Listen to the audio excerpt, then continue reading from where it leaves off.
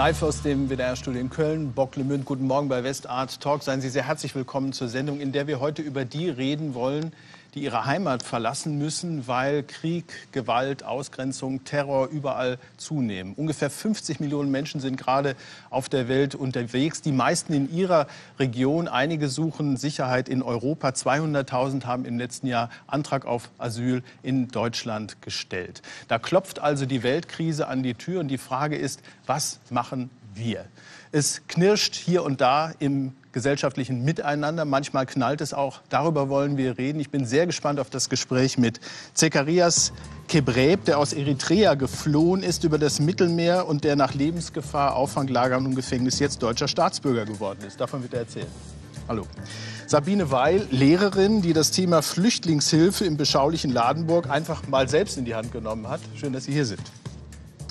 Miltiadis Ulios, Journalist, Radiokollege bei WDR 5 und Sozialwissenschaftler. Er kritisiert die deutsche Abschiebepraxis und sagt, wir müssen endlich akzeptieren, dass wir in einer globalisierten Welt leben. Hallo.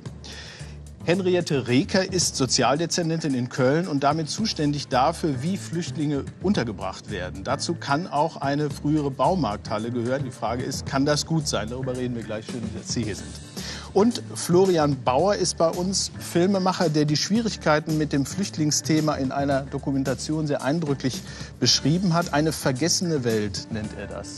Willkommen an Sie. Willkommen an Sie zu Hause auch und gleich die Einladung mitzudiskutieren im Westart Gästebuch. Haben Sie nachbarschaftliche Erfahrungen mit Flüchtlingen? Ja, gute oder schlechte? Äh, müssen wir mehr tun für unsere Willkommenskultur oder sind wir eh schon überfordert? Was wünschen Sie sich von der Politik? Sie ist ja heute hier. Sagen Sie es dem Gästebuch www.west-art.de, dann auf Talk gehen und Sie sind drin oder Sie nutzen den Facebook-Zugang von Westart. Über Flüchtlinge wird viel geredet, gerade mit Flüchtlingen nur selten. Ich möchte gleich mit Zekarias Kebreb sprechen, der seine Heimat Eritrea verlassen hat, über die Wüste, durchs Meer und heute Bürger von Nürnberg ist. Das ist seine Geschichte. Im März 2002, mit knapp 17 Jahren, verlässt er seine Familie in Eritrea, macht sich auf den Weg nach Europa. Nach dem Abitur möchte er dem lebenslangen Militärdienst mit Demütigung und Folter entgehen. Er möchte in Freiheit leben. Eine lebensgefährliche Flucht quer durch die Sahara und über das Mittelmeer. Monate voller Angst. Völlig erschöpft landet er in Europa. Und dann Auffanglager, Asylbewerberheime, jahrelang, ständig von Abschiebung bedroht. Er schreibt seine Geschichte auf. Hoffnung im Herzen, Freiheit im Sinn. Über eine Odyssee, auf der er alles riskierte. Zigarias, Sie waren 17, als Sie sich entschieden haben, Eritrea zu verlassen. Warum? Mhm. Ähm, in Eritrea äh, also läuft gerade, äh, das ganze Volk muss lebenslang Militärdienst machen. Also wenn man, wenn man äh, 17 oder 18 ist, wenn man äh, dann äh, elf Jahre in die Schule ging, dann muss man in die, äh, das unbegrenzt. Genau, unbegrenzt, also lebenslang. Äh, es gibt einen Satz von Human Rights Watch, es ist die größte, das größte Gefängnis der Welt. Stimmt. Sie wollten da weg. Ja, also ich wollte frei sein. Ich wollte meine, mein Leben selbst bestimmen. Mhm. Ich wollte einfach in Freiheit leben, wo auch äh, die anderen leben. Also das ist mein, mein Wunsch gewesen damals. Mhm. Ich wollte nicht Soldat werden. Das ist nicht mein Ding. Mhm. Also ich will äh, lernen, ich will was tun. Und ich wurde äh, gezwungen, äh, Militärdienst lebenslang unter unmenschlichen Bedingungen zu machen. Und äh, das konnte ich nicht akzeptieren. Und deswegen bin ich einfach äh, aus Eritrea geflüchtet. Sie sind allein gegangen, das heißt, Sie haben Ihre Familie zurückgelassen. Das war der Preis. Ja, genau. Ich äh, konnte nicht meiner Mutter äh, Bescheid sagen, weil die war immer gegen meine, meine Flucht. Äh, weil sie äh, Angst hatte. Natürlich, so, die ist ja äh, die Mutter, genau. Aber mm, wir hatten auch Streit mit meiner Mutter. Mhm. Sie wollte nicht und ich will unbedingt. Und äh, ich habe einfach nur 500 Dollar von meinem Bruder, der damals in, in London lebte, äh, besorgt. Für, nicht für die Flucht, sondern ich habe erfundene Geschichte erzählt mhm. zu meinem Bruder. Und äh, er hat auch das Geld überwiesen. Und dann, äh, ich habe einen gefälschten Militärausweis gekauft und als Militär gekleidet bin ich dann aus Eritrea los. Äh, und Sie mussten sozusagen die Verkleidung annehmen, der Sie entfliehen wollten. Aber so genau. ist das manchmal. Diese Flucht hat acht Monate gedauert. Mhm. Durch die Sahara übers Mittelmeer. Was ist Ihnen da zugestoßen? Äh, Eigentlich alles. Ja, es ist alles. Also für mich war, ich kann einfach nicht vergessen, mein Leben in der Wüste, zehn Tage lang und auch zwei Tage und zwei Nächte äh, auf das Mittelmeer. Also das eine ist äh, äh, verdursten, das andere ist ertrinken beinahe. Genau, also immer mit Wasser zu tun. Hat immer mit einmal Wasser ist kein Wasser und einmal ist viel Wasser. Ja. Kommt man da nicht tausendmal auf den Gedanken, ich kehre lieber um, das hat keinen Sinn, was ich hier mache? Äh, ja, also man hat ja diese, diese, diese Wut. Also ich muss einfach weg. Mhm. Eritrea ist unabhängig geworden vor 24 Jahren. Und diese Unabhängigkeit von Eritrea bedeutet für mich gar nichts. Wenn ich gerade im 17 in der Wüste sterben musste und auch äh, auf das Mittelmeer, also das ist einfach genug für mich. Ich, ich hatte Wut und ich wollte einfach in Freiheit leben. Und die war stärker ja. als das, die Wut und die, diese Sehnsucht nach Freiheit war stärker als, als die Angst. Warum hat das, was ist in diesen acht Monaten passiert? Also die, die Zuspitzung war die Wüste und das war die Überfahrt in einem Fischerkahn mhm. übers Mittelmeer. Aber acht Monate ist eine lange Zeit. Genau, also ich habe äh, fast ein halbes Jahr in, in Khartoum, in der Hauptstadt von Sudan, gelebt als illegale äh, Flüchtling, also versteckt. Und dann äh, musste ich überlegen, kann ich einfach nicht äh, ein Versteckspiel in, in, Sudan spielen. Ich muss woanders weggehen, damit ich frei sein kann. Und das habe ich dann mit anderen eritreischen Flüchtlingen beschlossen, mhm. über die Wüste nach Libyen zu, zu, zu fliehen und danach äh, über das Mittelmeer nach Europa zu, zu kommen. Wem haben Sie was bezahlt? um das machen zu können? Genau, äh, von Sudan nach Libyen habe ich so wenig bezahlt, also 250 Dollar. Aber von, von Libyen nach, It nach Italien muss man äh, 1000 äh, Euro zahlen. Heute ist ja vielleicht 4.000, 5.000, aber damals vor zehn Jahren. Das heißt, billiger. es steckt auch eine Industrie dahinter, die davon lebt. Ja, wir, haben, wir waren 150 äh, Menschen, alle aus Eritrea in Libyen, die alle nach Europa wollen. Und wir mussten dann 150.000 Dollar an unser Schlepper geben für die Fahrt nach Europa. Was war Ihre Vorstellung von Europa? Europa habe ich damals vorgestellt als, als Paradies. Wenn ich nach Europa komme, dann lebe ich einfach leicht frei und äh, da kann ich einfach schnell in die Schule gehen und Arbeitsstelle suchen, äh, äh, finden und einfach in Freiheit leben, wie ich äh, wollte. Wie, wie, sieht das Paradies dann aus in Ihrem Kopf? Das würde mich mal interessieren, noch bevor Sie dann da waren. Ja, äh, man, man, man, man sieht in Eritrea, also im Fernsehen äh, oder Geschichten hört man, äh, dass Europa einfach glänzt und es ist alles wunderbar. Ich dachte auch nicht, dass äh, die Europäer irgendwie sterben. Also mhm. das ist eine, eine, eine, eine naive Vorstellung gehabt. Aber äh, ja, äh, natürlich hört man und sieht man auch von hier aus über Afrika ganz schlimme Dinge, obwohl auch in Eritrea ein paar schöne Sachen gibt.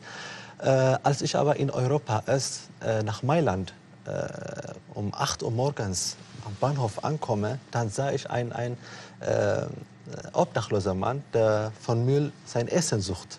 Dann, aha, habe ich dann gedacht, das kann einfach nicht Europa sein. Mhm. Also das kann vielleicht eine, eine, eine falsche Europa sein. Was ist denn das? Was ist denn das? Sowas, so Armut gibt es in, in, in, mhm. Europa nicht. Aber ich weiß heute, dass Europa ein besseres Kontinent ist, aber kein Paradies. Kein Paradies. Ja. Eigentlich wollten Sie gar nicht nach Deutschland.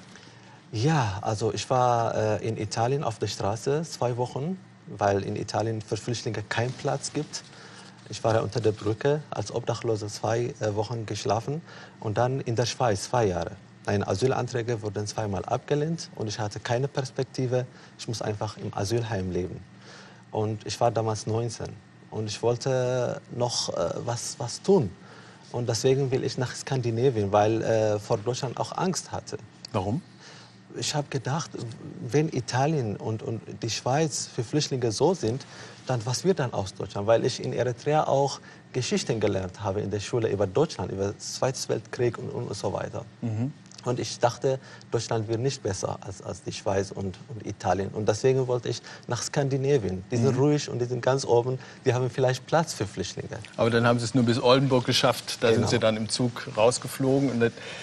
Jetzt sind Sie Nürnberger. Mhm. Was war dazwischen?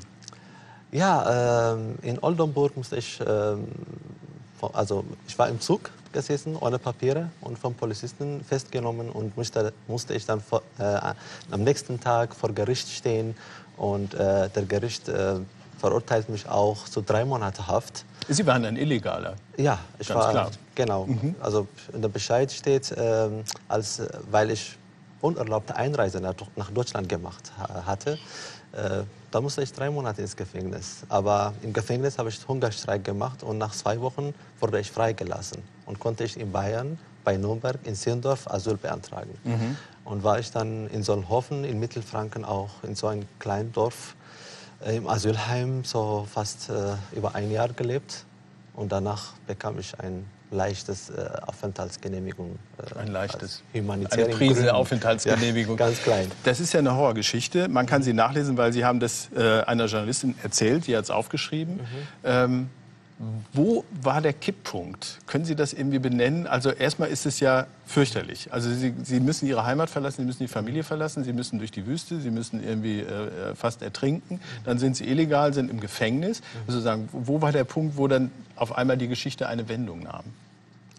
Ja, als ich in Nürnberg war oder in, in, in Bayern war, äh, ich hatte dann keine Lust weiterzumachen. Und ich, ich, ich dachte damals, ich bleibe, ich muss hier bleiben und ich muss meine Kräfte zeigen. Ich bin hier, ob äh, jemand mich haben will oder nicht. Also ich muss hier bleiben und kämpfen. Mhm. Also dieser Kampf beginnt dann. Also ich mhm. kämpfe jetzt weiter. Also es war erstmal eine Haltungsgeschichte genau. äh, bei Ihnen. Ja. Ich will das jetzt. Genau. Ich mhm. bin auch ohne Papiere ein deutscher Mann. Ja. Ich bleibe hier. Hier mhm. ist meine Heimat. Mhm. Nürnberg. Und ich, bis heute bin ich Nürnberger. Das hat dann irgendwann geklappt. Genau. Es gab auch einen Sozialarbeiter, Franz, der, ja. der geholfen hat. Also mhm. es sind dann offenbar immer auch so Einzelne, die sagen, mit dem Jungen müssen wir irgendwie was machen. Ja, ja, genau. Also ich habe auch äh, so viele gute deutsche Freunde, die mich mhm. auch wirklich in äh, vergangenen zehn Jahren wirklich geholfen haben. Also ich bedanke auch mhm. für die Menschen, die mhm. mich einfach geholfen haben und auch weiterhelfen. Haben Sie Heimweh? Natürlich. Also da steht viel in dem Buch von Heimweh. genau, mein, einziges, mein einziger Wunsch ist, dass ich irgendwann oder so bald ein demokratisches Eritrea sehen kann. Mhm. Würden Sie dann wieder dahin gehen? Sie sind jetzt ja, Nürnberger. Ich bin Nürnberger. Mit Würstchen und allem. ich will Deutschland gar nicht verlassen und auch Eritrea nicht vergessen. Mhm. Also ohne Eritrea und Deutschland kann ich nicht leben. Mhm. Ja. Die beiden Länder sind meine Heimat.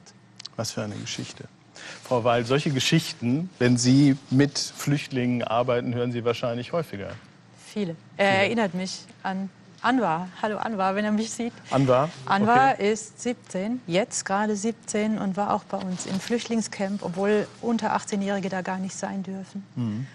Und er hat mich gefunden, ich habe ihn gefunden und wir hatten kleine Geschichten mit dem Jugendamt, die waren sehr hilfreich. Und jetzt wohnt er in einer Unterkunft für minderjährige Jugendliche. Ja.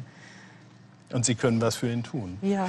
Frau Reker, ist es ähm, die Pointe von dem Gespräch, das wir gerade geführt haben, die, dass es die Flüchtlinge vielleicht gar nicht so gibt, sondern es gibt eigentlich nur immer komplizierte Geschichten, ja, Biografien. Es gibt viele unterschiedliche Schicksale und viele sind auch so beeindruckend und unterschiedlich, wie sie jetzt heute von Ihnen erzählt wird, Ihre mhm. Geschichte. Und uns tut das auch immer wieder gut, sich mit den unterschiedlichen Geschichten zu beschäftigen. Weil im politischen Diskurs äh, sind es immer die Flüchtlinge. Und äh, dann wird noch unterschieden, also warum kommen die jetzt? Ist es wirklich humanitär? Ist es politisch? Ist es wirtschaftlich? Aber es ist immer sozusagen der Block, die Flüchtlinge.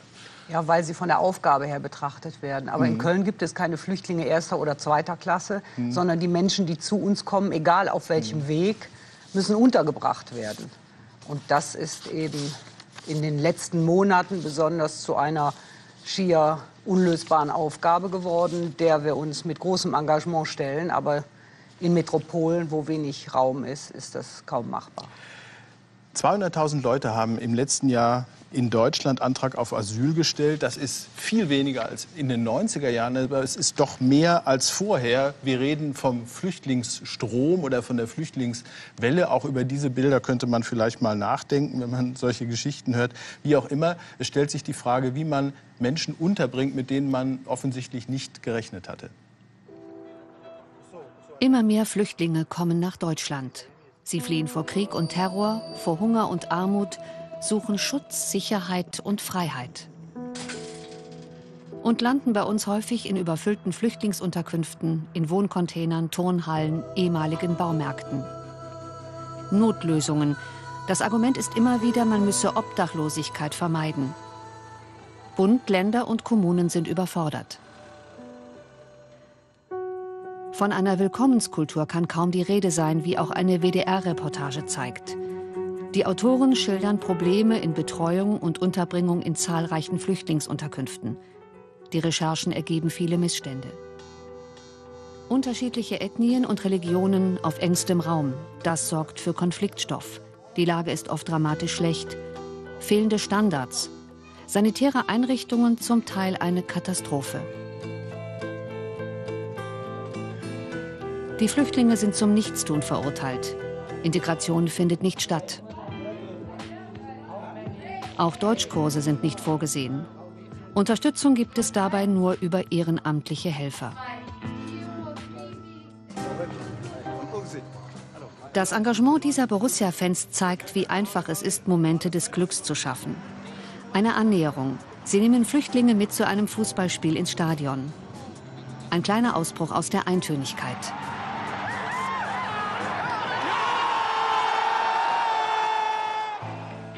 Das Flüchtlingsheim in Köln in der Herkulesstraße, seit Jahren völlig überlaufen.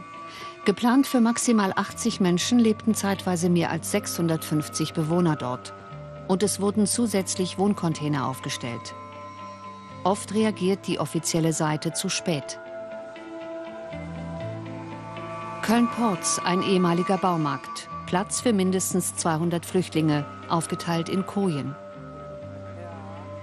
Sozialdezernentin Henriette Reker bei einer Besichtigung im Dezember. Sie weiß, dass es eine Notlösung ist. Aber auch wenn es nicht den Wünschen entspreche, es ginge in erster Linie um Tempo, nicht um Qualität. Frau Reker, Tempus versus Qualität ist eigentlich schwer erträglich, oder? Ja, ich würde mir die Unterbringung auch ganz anders vorstellen. Natürlich ist es immer das Beste, wenn Flüchtlinge in ganz normale Wohnungen einziehen können. Nur das ist eben in Städten wie in Köln deswegen sehr schwierig, weil bei denen, die sich um Wohnungen bewerben, äh, ist großer Andrang. Da sind Menschen, die ein geringes Einkommen haben, Hartz-IV-Empfänger, Studenten, alle suchen Wohnraum, den gibt es nicht in Köln. Und wenn man damit konfrontiert wird, dass viele tausend Menschen kurzfristig untergebracht werden müssen, muss man leider zu solchen Notlösungen greifen. Kamen die überraschend? In dieser Anzahl ja. Mhm. Wir haben ja prognostiziert äh, im Jahr 2013, wie viel werden wohl kommen in 2014. Und das haben wir gemacht mit den Experten für die Unterbringung von Flüchtlingen, nämlich mit dem runden Tisch in Köln. Die Kirchen sind drin, die freien Träger. Und haben gesagt, wir werden schaffen müssen 65 Plätze. Die Wahrheit war, wir mussten im Monat, die Wahrheit war, wir mussten dreimal so viel schaffen. Mhm. Und das geht natürlich nicht so schnell. Das ist ein Problem, aber das ist ein Problem, das wir lösen. Und ich darf Ihnen Gott sei Dank versichern, Sie haben nur die negativen Bilder gesehen, eben nicht die positiven. Okay, für die Bilder ist Florian Bauer zuständig. Das waren zum Teil Bilder aus Ihrer Dokumentation, die Sie da gemacht haben. Äh, da fällt das Wort vom Ausnahmezustand. Das ist ein starkes Wort. Haben Sie das zu schwarz gezeichnet alles? Was haben Sie gesehen? Ich glaube nicht. Äh, wir hatten sogar darüber gesprochen, ob wir den Titel ähm, der Doku ähm, nicht Willkommen im Ausnahmezustand äh, nennen. mhm. ähm, man muss einfach sagen, dass wirklich ganz Deutschland, wenn es um die Flüchtlingsproblematik geht, und ich fand es sehr schön, dass Sie vorhin gesagt haben, es wird immer über die Flüchtlinge gesprochen, selbstverständlich stehen dahinter Schicksale. Ähm, wirklich komplett überfordert ist. Und zwar alle auf allen Ebenen. Das liegt, und darüber werden wir sicherlich äh, in der nächsten Stunde auch noch sprechen, das liegt daran, dass äh, es gewisse Standards nicht gibt. Das liegt äh, daran, dass es gewisse, aus meiner Sicht, Gesetzgebungen nicht gibt, über die man nachdenken müsste. Das liegt daran, dass die Kommunen äh, zum Teil alleingelassen werden mit Geldern. Das liegt vor allem aber auch daran, da würde ich äh, Frau Ricker äh, Ihnen doch widersprechen, auch daran, dass die Kommunen, die Länder und auch der Bund jahrelang diese Entwicklung verschlafen haben. Also Sie zitieren einen, einen Brief in, dem, in genau. dem Film, wo also vor Jahren schon gesagt wird, äh, Kommunen stellt euch darauf ein. Äh, das ist aber offensichtlich nicht passiert. Im Gegenteil, es sind also viele Einrichtungen verwahrlost, die jetzt abgerissen werden, die man eigentlich gut gebrauchen könnte, aber die so, wie sie dann jetzt aussehen, auch nicht mehr gehen.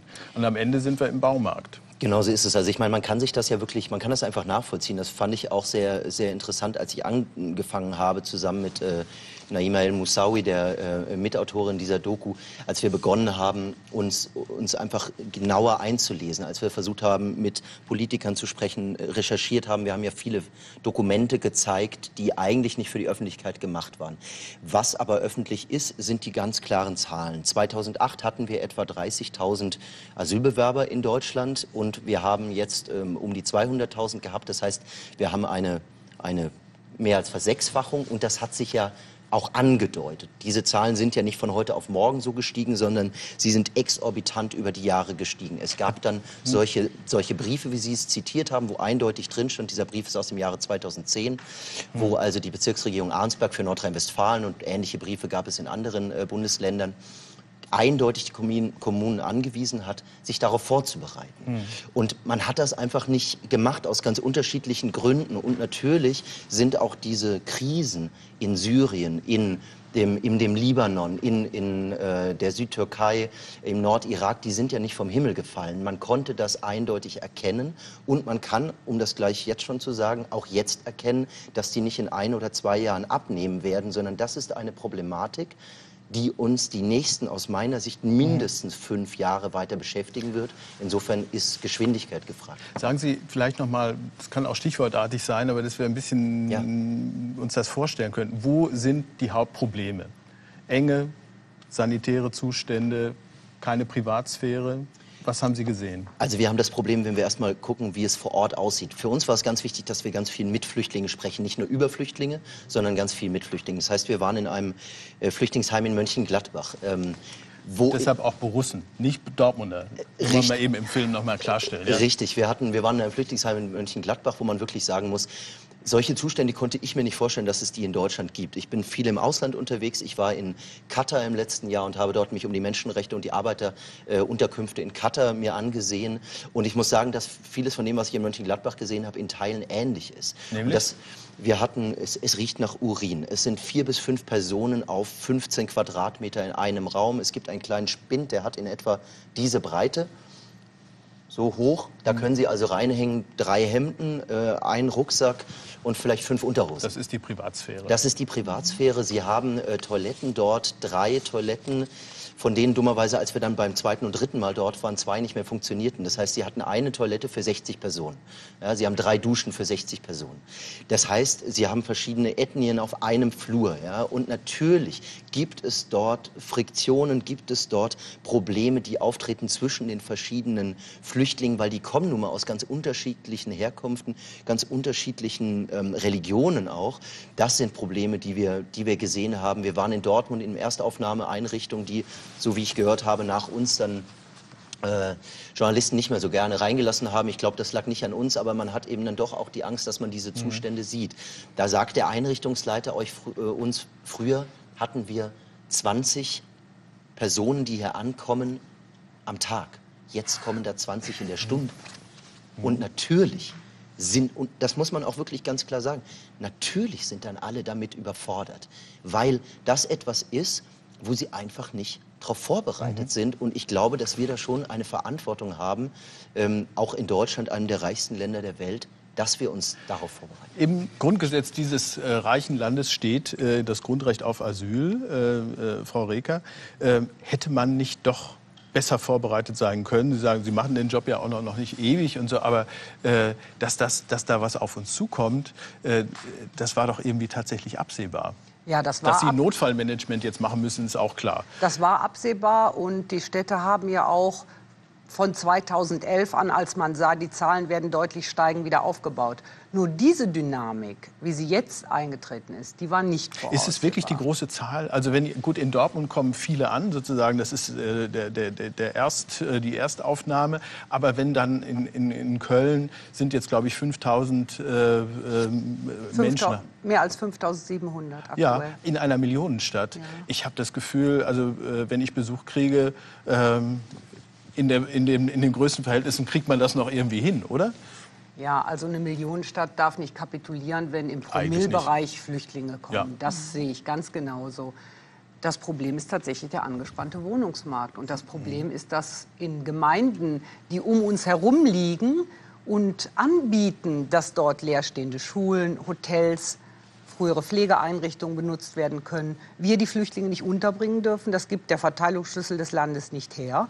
Und da ist die Politik gefragt. Hier muss auch die die Unterbringungsform Politikerin, ja. untergebracht.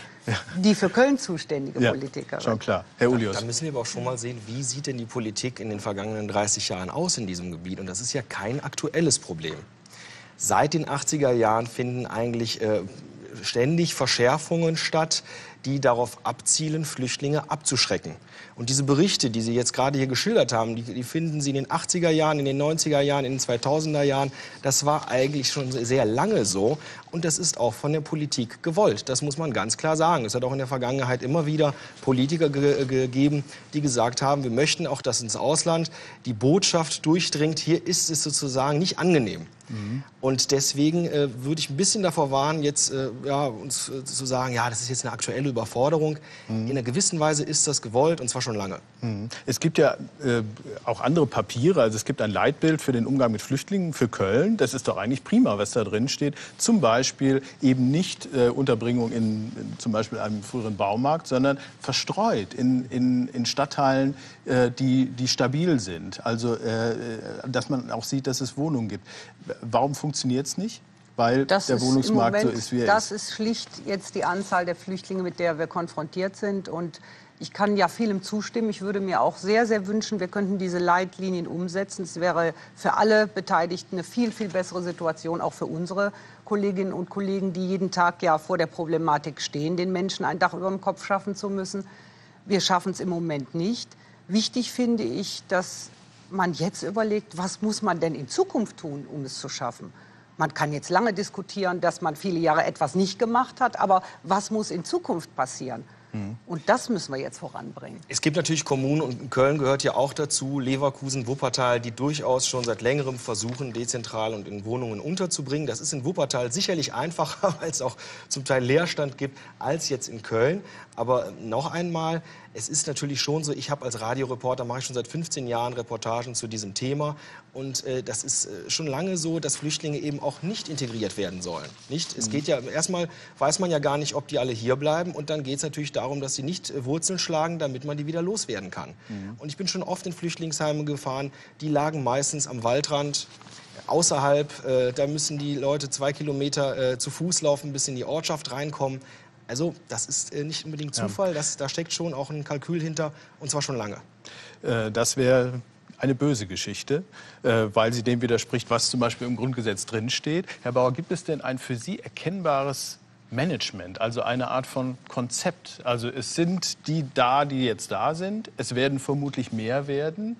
Äh, wir haben eine, ein Problem. Jetzt machen wir Folgendes. Konnten Sie irgendetwas finden? Also man muss eindeutig sagen, dass eine Gesamtstrategie, wie man mit Flüchtlingen in der Unterbringung, aber aus meiner Sicht vor allem in der Betreuung, und das erleben Sie ja sehr stark auch, ähm, umgeht, dass ein solches Gesamtkonzept in Deutschland nicht erkennbar ist. Und zwar in ganz Deutschland nicht. Und das ist etwas, wo ich glaube, dass es auch unsere Aufgabe ist, als, als Medien darauf hinzuweisen, Moment mal, wir sind ein so reiches Land, wir haben eine Verantwortung und wir müssen uns schon auch überlegen, wie wir generell mit Flüchtlingen umgehen wollen. Und dass zum Beispiel Deutschkurse nicht festgeschrieben sind im Gesetz, solange jemand nicht anerkannt ist, ist eine, eine, eine so, ein solcher Frevel aus meiner Sicht.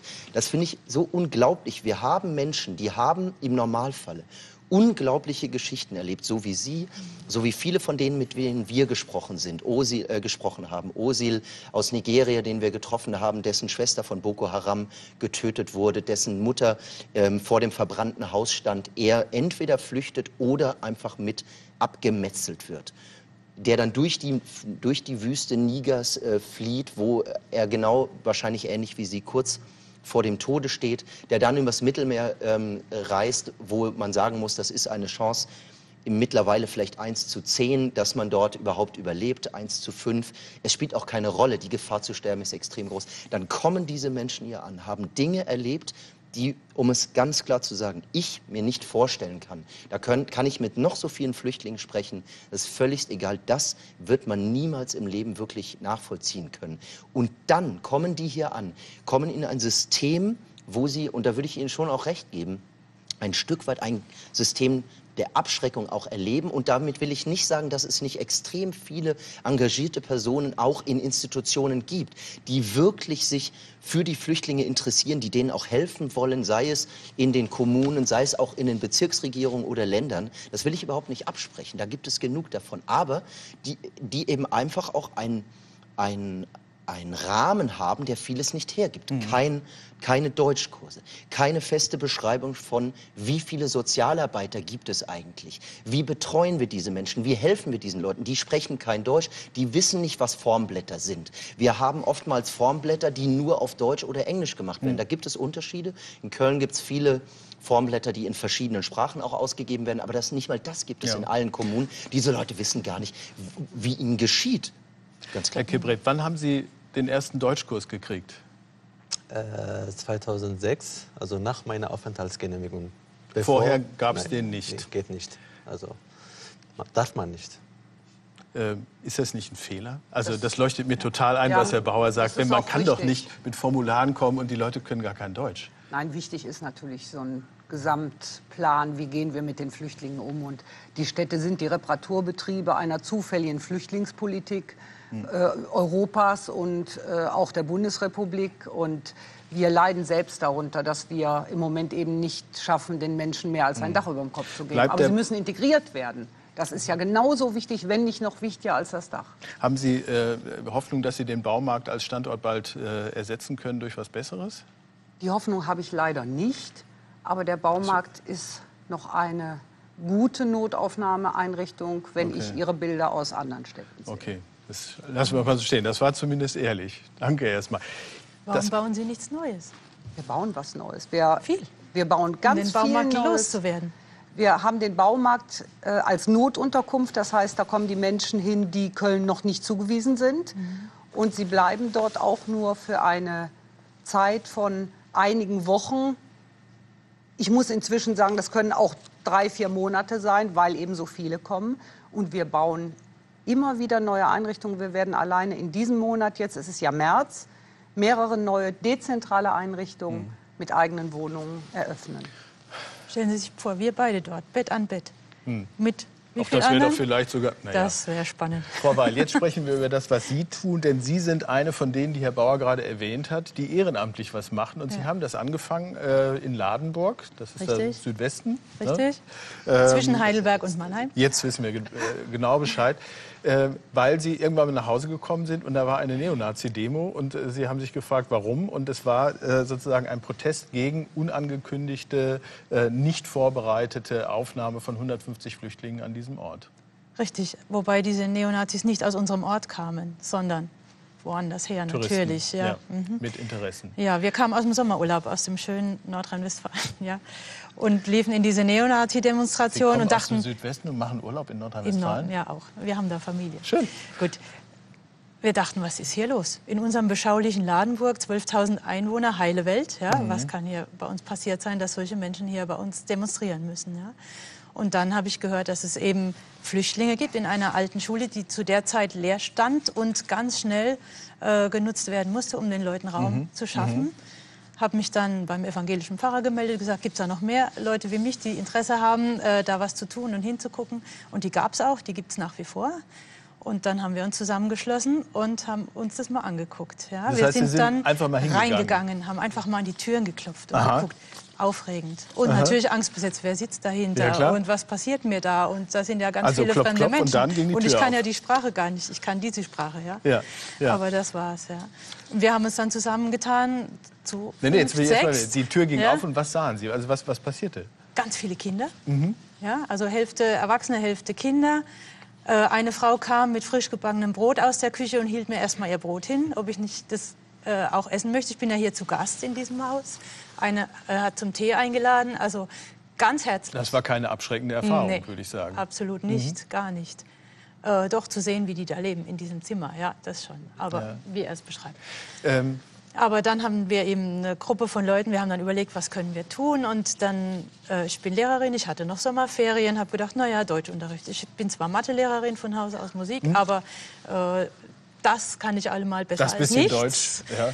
Und äh, eine Förderschullehrerin war Mhm. dabei, die malte dann große Zettel. Da waren dann Kinder, Erwachsene, Männer, Frauen drauf. Und wir trafen uns in der großen Turnhalle, die zu dieser Schule gehörte, und legten diese Zettel auf den Boden. Und jeder Lehrer sammelte dann so seine Leute um sich rum. Ja, ich Sie hatte dann es einen Ball und dann habe ich den Kindern zugespielt, ich heiße, das war schon mal ganz schlecht, weil ich scheiße, das geht gar nicht. Ja. Also gut. ich bin, sollten die dann sagen und sich Ja. vorstellen. Das haben Sie alles getan ohne äh, Auftrag irgendeines Dezernats. Ja, ohne, ohne Auftrag. Sie Vielleicht haben jetzt von gerade nach oben geguckt. äh, und Sie Ja. tun es immer noch. Natürlich. Und- also Deutsch nicht, ich mache andere Dinge, aber Ja. mit Wie, viel wie, wie, Freude. wie geht so ein Tag bei Ihnen? Also, ähm, was passiert? Also ich habe ja noch einen vollen Beruf, Ja. noch nebenbei, habe allerdings äh, freie Arbeitszeiten, manchmal auch am Vormittag frei und das nutze ich dann schamlos aus, um Mhm. den Menschen auch äh, beizustehen bei Arztbesuchen, bei Behördengängen, wenn ein Brief kommt in wundervollem Amtsdeutsch und Sie rufen mich an, da ist gelber Brief, komm. Ja? Mhm. Oder inzwischen machen Sie mit dem Handy ein Foto und schicken mir das und dann kann ich schon Mhm. mal einordnen, ist es Alarmstufe rot oder kann ich noch ein bisschen abwarten. Äh, tun Sie das, äh, haben Sie oft das Gefühl, dass Sie das tun, was eigentlich äh, der Staat, die Kommune, amtliche Stellen tun müssten? Wir haben Sozialarbeiter, wir haben gute Leute. Aber die sind ja nicht nur in dem Camp, das ich jetzt betreue, sondern die sind auch noch dezentral für die Leute, die dezentral untergebracht sind, zuständig. Ich glaube, das Einstellungskriterium ist inzwischen Führerschein und ein gutes Auto für die Sozialarbeiter. Ja, es ist fast unmenschlich, was sie leisten müssen. Es ist zu viel. Das ist zu viel. Ja, es ist zu viel. Äh, Und dann sind solche Situationen, ich habe eine Familie, die wurde dann in eine Wohnung, die waren im Glück, ja, wir bekommen eine Wohnung, wunderbar, kurz vor Weihnachten, ja, zeigten mir auch noch nach Ladenburg, ja, wie schön, ja, dann seid ihr ja bei mir um die Ecke, ich muss nicht mehr so weit fahren, klasse. Ähm, der Tag der Geldauszahlung war der 22. Dezember. Die Familie wurde umgezogen am 23. Also irgendwie oder 21, 22. Ein Tag vor der Geldauszahlung bekam natürlich an diesem Tag in diesem Heimatcamp kein Geld mehr für den neuen Monat. Und dann machte das Landratsamt zu. Bis zum 7. Januar. Oh, Ja. Und Ja. die Familien haben vier Kinder und haben Babys und haben Windeln und brauchen Säuglingsnahrung und so weiter. ja. Ja. Und da muss man was tun. Und dann haben die ja meine Telefonnummer. Mhm. Ja. Aber wenn nicht, ja, was dann? Also ich hatte super Kontakt mit unserem Bürgermeister per E-Mail dann, da ist Nothilfe und er schrieb nur, können Sie was auslegen oder soll ich kommen? Ja. Ähm, Immerhin, man aber kann den Oberbürgermeister in Ah, Ladenburg noch Spitze. anmailen. Spitze, ja. Äh, und er antwortet Sonntagabend. ja. Aber das ist ja natürlich kein Zustand. Nee, es ist es ist ja Zustand. nur ein Fall, den ich jetzt zufällig erlebt habe. Es gibt ja ganz viele andere. Haben Sie Menschen wie Frau Weil erlebt auf Ihrem Weg? Herr Kubrell? Ja, natürlich. Jetzt gerade. Äh, viele eritreische Flüchtlinge sind unterwegs in Europa. Und wenn ich in Köln Hauptbahnhof komme oder in Nürnberg Hauptbahnhof in München, da sehe ich viele Landesleute, die ganz neu nach Deutschland äh, kommen und suchen nach Landsleuten. Die wissen nicht, was sie machen. Also, was machen wir jetzt? Wo gehen wir? Also, sie haben auch Angst, äh, dass sie wieder nicht nach Eritrea zurück abgeschoben zu werden. Äh, die suchen einfach Hilfe. Also, gerade heute äh, bekam ich äh, über Facebook eine Nachricht aus Bonn. Äh, ein deutscher Mann äh, fand, seine Frau fand am Bushaltestelle einen 17-Jährigen, der richtig gefroren ist, also Mitte Januar, der Hilfe sucht.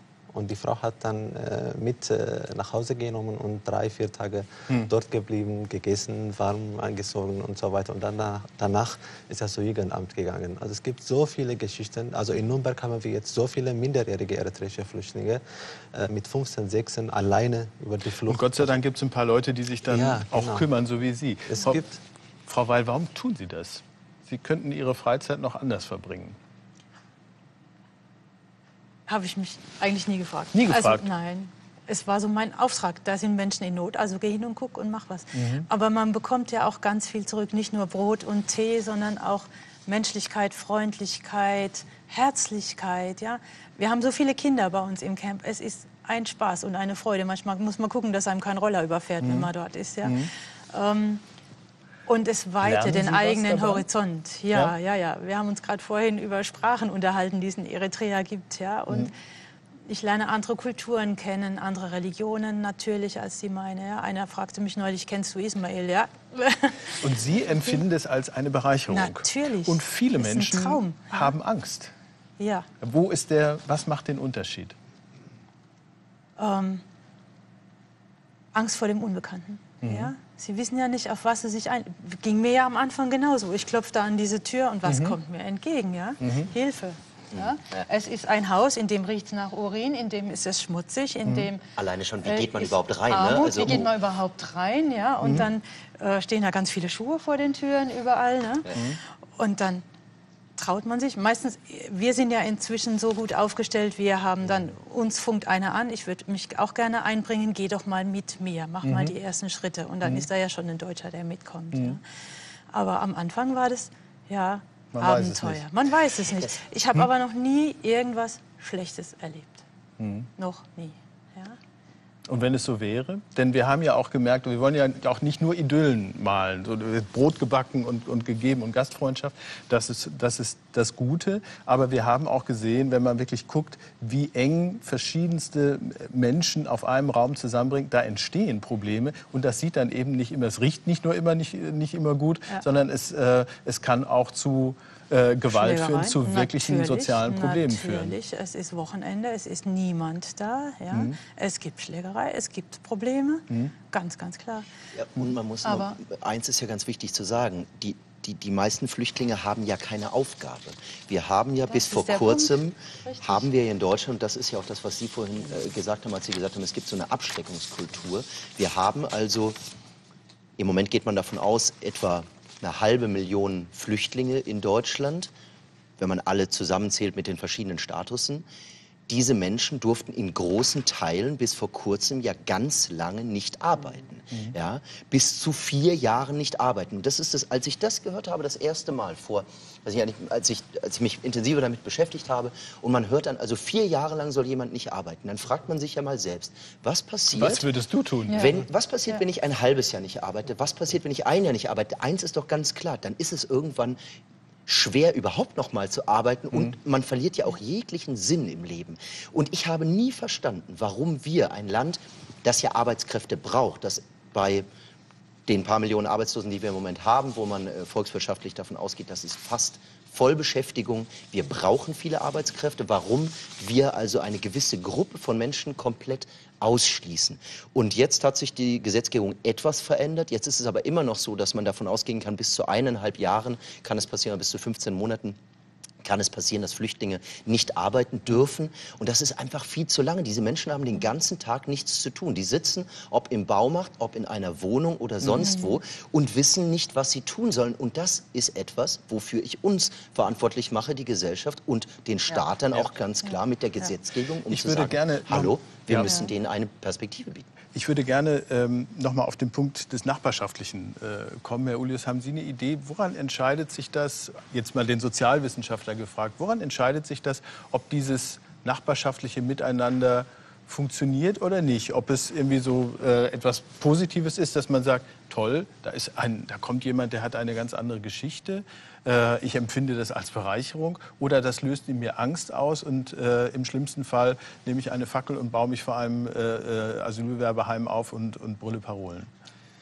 Das sind ganz unterschiedliche Faktoren. Also Sie zielen ja ein bisschen auf die Frage nach dem sozialen Umfeld ab. Nicht? Mhm. Und natürlich gibt es auch Konkurrenzkämpfe. Also auch viele äh, Migranten, äh, Einwanderer, die äh, einfachen Jobs nachgehen hier, sind häufig selber auch eher ablehnend, weil die sozusagen die Neuankömmlinge als Konkurrenz, als Konkurrenz empfinden wir als, keine Ahnung, studierte Leute müssen uns eigentlich gar nicht so sehr dafür fürchten. Also es gibt natürlich mhm. diesen Aspekt. Wichtig ist, äh, also ich gehe davon aus, dass wir zum Beispiel in Zukunft noch viel multikultureller leben werden. So, da mache ich mir nichts vor. Und darauf müssen wir klarkommen. Und da ist es wichtig, dass Funktionssysteme erstmal funktionieren.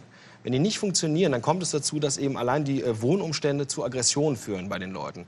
Allein die Perspektivlosigkeit Probleme mit sich bringt. Wir haben in Deutschland ist ja noch eine relativ gute Situation. In den südlichen äh, europäischen Ländern ist es teilweise so, dass die Illegalisierung noch viel größer ist dass es äh, ja auch viel Obdachlosigkeit gibt und dadurch auch noch mehr Kriminalität mhm. von geflüchteten Menschen. Mhm. Das ist völlig klar. Das heißt, man muss schon gucken, dass man gewisse ähm, ja, Umstände schafft, die halt äh, Probleme vermeiden. Und da wissen wir alle, das ist äh, bei geflüchteten Menschen genauso wie bei Leuten, die schon lange hier leben, genauso wie bei uns. Ja? Mhm. Und das andere ist natürlich politische Tradition. Also gerade, äh, ich, ich, will jetzt kein Ostdeutschland-Bashing betreiben. Also wir wissen auch, dass es seit den 90er Jahren auch schon Anschläge in Westdeutschland gab. Aber nichtsdestotrotz ist es auch eine Frage der politischen Kultur. Und wenn ich eine Ablehnungskultur äh, äh gepflegt habe, dann ist es natürlich so, ich muss gar nicht so viele Geflüchtete und so viele Einwanderer bei mir ja. im Ort haben. Mir reichen schon die drei mhm. und, und äh, da kann ich dann mich draufsetzen und irgendwie äh, gegen Stimmung machen. Äh, wir wollen da jetzt gar nicht hinbashen, sondern vielleicht mal nach Köln gucken, gerade Frau Reker. Wie, wie ist es denn in Köln mit dem, äh, das eine ist das Politische, das eine sind die Funktionssysteme, wie Herr Ulius das nennt, aber das andere ist sozusagen die Stimmung vor Ort. Wie, sind die, wie gehen die Kölschen mit Flüchtlingen um? Also Köln hat traditionell ja eine hohe Integrationskraft und äh, wenn ich in den Nachbarschaften bin, um zu informieren, wie Einrichtungen dort gebaut werden sollen, dann erlebe ich manchmal natürlich schon Bedenken, Ängste, was kann mhm. da kommen. Äh, in letzter Zeit ist es häufig so, dass auch Menschen dahin kommen, die in der Nachbarschaft einer anderen Einrichtung wohnen und dann erklären, dass diese Ängste unbegründet sind, dass meistens das wunderbar klappt. Und ich glaube, das ist auch die Aufgabe der Kommune, dort nicht nur das Dach über dem Kopf sicherzustellen, sondern die Betreuung so gut zu leisten, dass die Nachbarschaften funktionieren. Mhm. Und wenn man dann nach einigen Wochen feststellt, es gibt keine Probleme, dann kann man auch viel offener auf die Menschen zugehen. Mhm. Wir haben Dutzende von Willkommensinitiativen in Köln. Ich glaube, es ist ganz wichtig, auch die Leute, die geflüchtet sind, nicht als Geflüchtete zu sehen. Ich meine, Sie sind ja noch was anderes. Was machen Sie gerade? Arbeiten Sie? Studieren Sie? Ja, jetzt fange ich zu studieren. Student. Mhm. Herr Kebret ist eigentlich Student. Aber hier ist er Flüchtling. Also da haben wir doch direkt, ja. ist schon klar, aber nicht, also sagen Sie mal, ich, wir gehen jetzt gleich Kaffee trinken und da kommt noch ein Flüchtling mit. Mhm. Und dann sagen Sie mal, wir gehen gleich Kaffee trinken, da kommt noch ein Student mit. Mhm. Sie wissen doch ganz genau, dass das Ihr Gegenüber innerlich ein ganz anderes Gefühl mitbringt. Mhm. Und diese Leute sind ja auch Individuen, die bringen vielleicht auch etwas mit. Also ich glaube, das ist auch nochmal ganz wichtig. Und das muss die Politik natürlich auch leisten, eben nicht nur auf diese Abschreckungstradition zu setzen. Da gibt es schon ein bisschen Umschwenken, dass man das Arbeitsverbot jetzt gelockert hat, dass man sieht, jeder Mensch hat auch ein Potenzial. Mhm.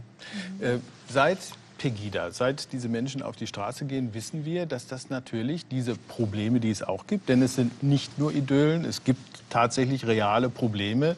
Äh, Ausgangspunkt Ihres Films war ein, ein, Problem in einem kleinen Ort namens Burbach, wo äh, einiges passiert ist.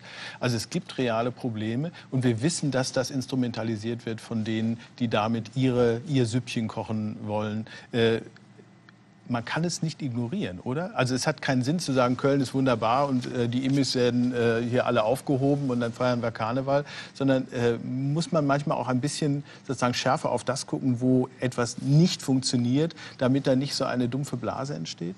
Ja, das muss man. Die Polizei hat ja auch in Köln äh, schon Razzien durchgeführt in großen Einrichtungen. Ende letzten Jahres. Ende letzten da, äh, Jahres. Das war eher nicht hilfreich, oder? Ähm, ja, es ist einfach so, dass wenn man eine Personenzahl äh, sich anschaut, die auch in einem ganz normalen Haus wohnte und dann guckt, dass man auch dort Kriminelle antrifft, dann darf man das nicht, und das finde ich sehr gut, was Sie sagen, dann darf man das nicht auf den Status Flüchtling beziehen, sondern es ist eine große Anzahl von Personen, die da lebt Und dabei sind auch einige Kriminelle. Ja, und offenbar gibt es ja auch Faktoren, die sozusagen die Kriminali Kriminalisierung begünstigen, wenn ich das richtig kapiert habe. Also wenn ich Menschen ausschließe vom, vom sozialen Miteinander, dann, äh, ich will nicht sagen, muss ich mich nicht wundern, aber äh, dann ist sozusagen der Gang in sozusagen das Kriminelle äh, auch ein bisschen nicht vorgezeichnet, aber doch sehr gut möglich. Ja, aber man muss trotzdem äh, da mit Augenmaß auch untersuchen. Und man muss einerseits den Menschen, die ja selber dort leben, äh, und auch den Nachbarschaften signalisieren, es kann kein Zufluchtsort für Kriminelle sein, aber man muss solche Razzien mit Augenmaß durchführen, die dann hinterher nicht dazu führen, dass die Flüchtlinge die Bösen sind und dass alles, was uns nicht gefällt, ja. bei den Flüchtlingen abgeladen ja. wird. Und darf ich noch mal hm? äh, weg von diesem Kriminellen zur sinnvollen Lebensaufgabe? Ja? Arbeit ist nach wie vor das große, ja, große Thema. Und es gibt immer noch diese Vorrangprüfung in Duisburg. Ich kenne jetzt einen, der hat einen Arbeitsplatz, der könnte morgen anfangen aber er wartet. Vorrangprüfung heißt, auf seine Papiere. Musst, genau. ne? Haben wir einen Deutschen, der mhm. das auch kann? Haben wir einen mhm. EU-Bürger, der mhm. das auch kann? Und ja. erst dann mhm. darfst du, armer kleiner mhm. Flüchtling, zeigen, mhm. was du kannst. Ja? Der steht in den Startlöchern. Ja? Da müssen wir dran drehen, an dieser Politikerschraube. Ja. die sind nicht kriminell, aber die langweilen. Ich habe am Freitag mit einem gesprochen, der sagte zu mir, ich habe zwei Jahre meines Lebens verloren. Mit Warten. Ja? Und das ist einer, der ist verrückt. super, super sozial ja. engagiert. Wenn mhm. ich irgendeine Unterstützung brauche, irgendeine Übersetzung, dann rufe ich den an ja. und der macht es. Ja? ja? Das ist aber das, was ihn trägt, auch in dieser Situation. Aber seinen wahren Beruf kann er nicht ausüben im Moment. Er sitzt und wartet. Mit drei, äh, zu dritt, drei Männer in einem Zimmer auf engstem Raum warten. Und ich will, darf ich, darf ich dazu noch was sagen? Ich, ich glaube, wir müssen mal eins hier klar machen, weil das ist, glaube ich, den meisten Zuschauern, den meisten Menschen klar. Die meisten Flüchtlinge kommen ja nicht hierher, weil das hier das gelobte Land ist. Die kommen nach Deutschland, weil sie müssen. Die kommen hierher, weil sie zu Hause vertrieben werden, weil dort Krieg herrscht, weil, sie nicht, weil, weil ihr, ihr Leben bedroht ist. Und die wollen nicht nach Deutschland kommen, die wollen nicht unser Sozialsystem ausnutzen oder hier den tollen Job haben. Die wollen zu Hause bleiben aber sie können nicht mehr. Nur um das mal eindeutig, einfach mhm. mal klarzustellen, weil es ja immer noch diese Diskussion teilweise gibt von wegen Wirtschaftsflüchtlingen etc.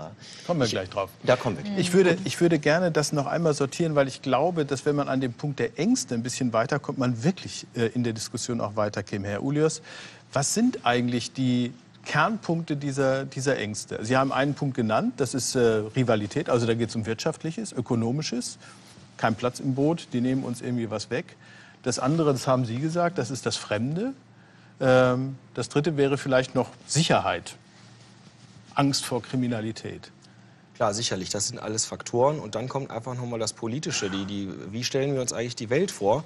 Was für ein Bild haben wir von Deutschland? Also Sie haben ja gefragt, warum ist es eigentlich so lange gewesen, mhm. dass man äh, eher äh, die Flüchtlinge abschrecken wollte und jetzt nicht unbedingt auf Integration aus war. Äh, das macht ja staatlicherseits auch Sinn. Warum soll ich jemandem äh, äh, Deutsch beibringen, wenn ich eigentlich weiß, einer von dreien äh, kriegt tatsächlich eine Anerkennung, bei den anderen muss ich gucken, wie ich die wieder loswerde. Äh, es ist so, dass seit den 70er Jahren sich der Asylweg als äh, äh, Migrationsweg etabliert hat in Deutschland. Es gab dann einfach keine anderen Möglichkeiten zu migrieren und für viele Menschen ist diese Migration über den Asylweg die einzige Möglichkeit gewesen. Dann haben wir eine massive Illegalisierung gehabt. Das heißt, es ist heutzutage kaum noch möglich, legal nach Europa zu flüchten. Das muss illegal stattfinden.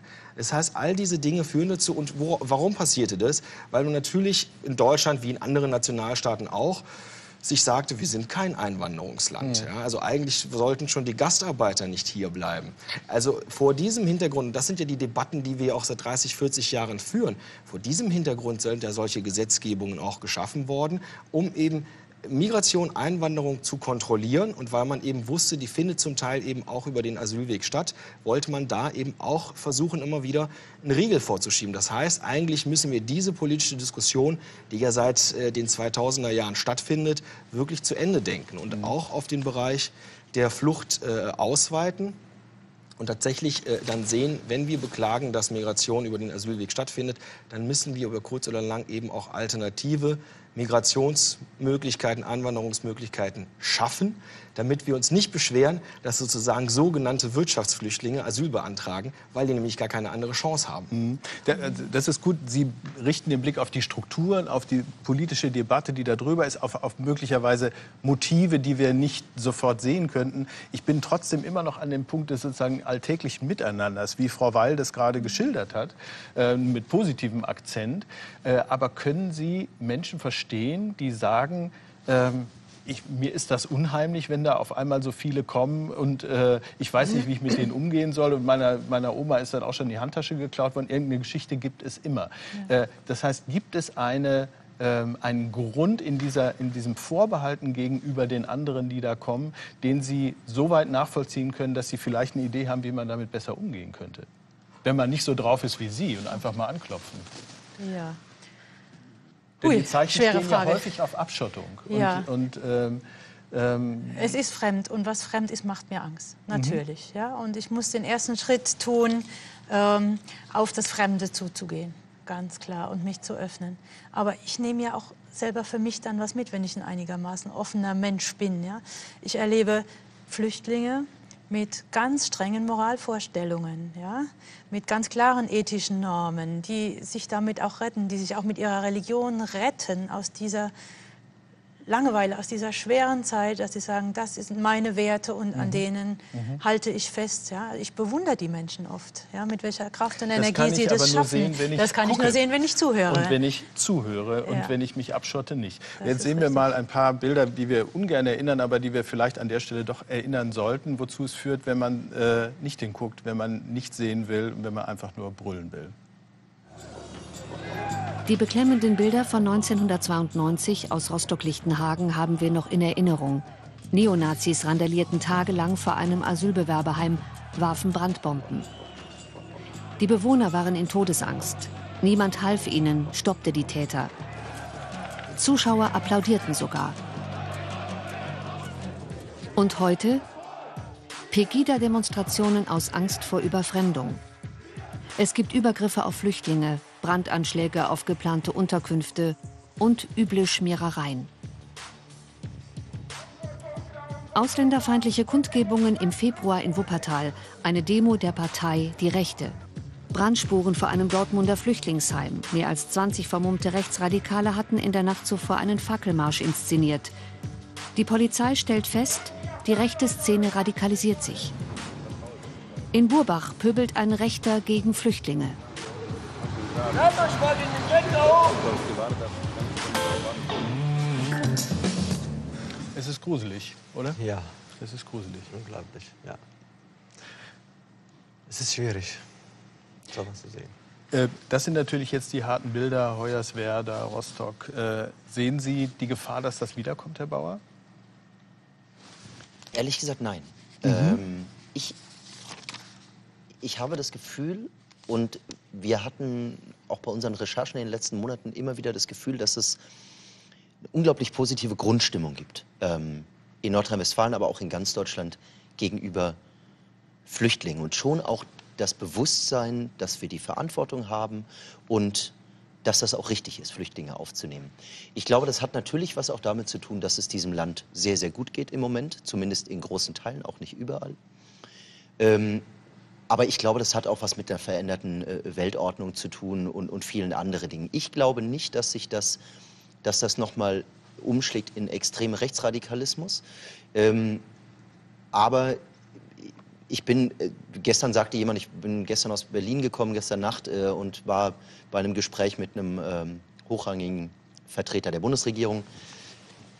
Und der sagte dann nur, er wisse aber nicht, wie das ist, wenn es 600.000 Flüchtlinge sind. Mhm. Und dem will ich, dem will ich nicht widersprechen. Ja. Es gibt auch Sozialwissenschaftler, Herr Ulius, Kollegen von Ihnen, die sagen, äh, zum Beispiel Pegida hat die Hemmschwelle für sozusagen menschenverachtende Affekte abgesenkt. Sehen Sie das auch so? Ja, das führt natürlich immer dazu. Und ich würde eigentlich Herrn Bauer auch zustimmen. Ich kann mhm. mich erinnern, in den 90er Jahren war die Stimmung anders. Und zwar auch von Politikern der etablierten Parteien, der Unionsparteien, der SPD, die da durchaus gezündelt haben. Gerade Rostock-Lichtenhagen. Das war schon mit Ansage damals. Und das findet in der Form nicht statt. In den Parteien nicht, aber wir haben eine neue. Ja, ja, es ist aber schon, äh, ja gut, aber ich meine, die Mehrheit hört jetzt auch nicht unbedingt auf Pegida, äh, mhm. die hört auch auf, noch auf andere mhm.